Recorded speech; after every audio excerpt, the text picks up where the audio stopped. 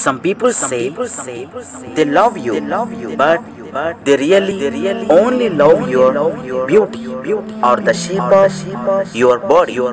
Some say they love you, but they really, only love your wealth, the mansions and the riches.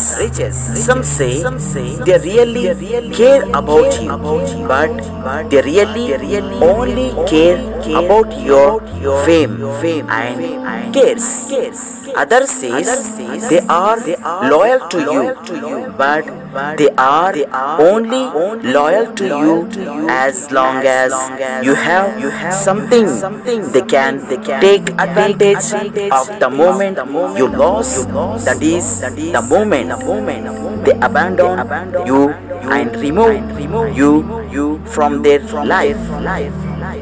But when the messenger of Allah says that he loves you and cares for you, he means that he loves you and cares for you.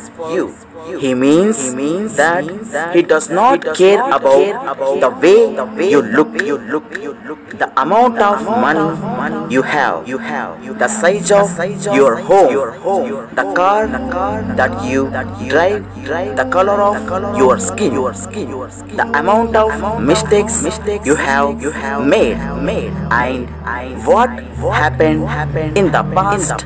You are you are for forever forever, his. His.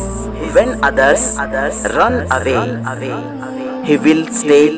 When brothers will betray us, he will be He will be by our side.